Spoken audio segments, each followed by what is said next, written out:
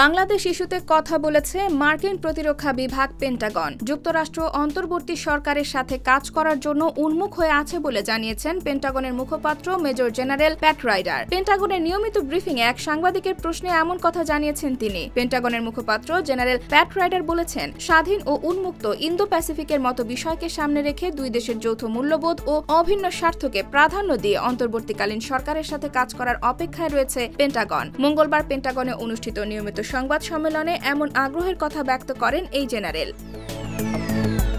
Press ব্রিফিংয়ে এক সাংবাদিক জানতে চান নোবেলজয়ী অধ্যাপক ডক্টর মোহাম্মদ ইউনুসের নেতৃত্বাধীন অন্তর্বর্তী সরকারের অধীনে শান্তি ও স্থিতিশীলতা রক্ষায় বাংলাদেশ সেনাবাহিনীর ভূমিকাকে পেন্টাগন কীভাবে দেখছে? এই ক্রান্তি লগ্নে যুক্তরাষ্ট্র এবং বাংলাদেশের সামরিক বাহিনীর মধ্যে কোনো সহযোগিতা বা যোগাযোগ আছে?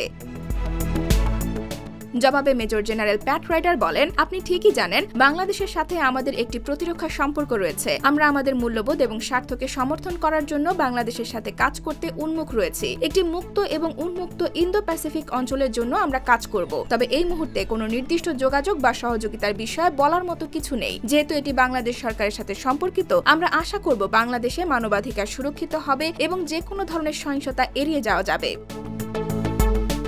তিনি আরও বলেন, বাংলাদেশ সরকারের সাথে সম্পর্কিত বিষয়ে আমরা অবশ্যই মানবাধিকার সুরক্ষা এবং সহিংসতা এড়ানোর প্রত্যাশার পাশাপাশি যুক্তরাষ্ট্র বাংলাদেশ সম্পর্কের ব্যাপারে যে কোনো বিষয় বিশদভাবে জানতে আমি আপনাকে স্টেট ডিপার্টমেন্টে যোগাযোগ রাখার আহ্বান জানাব।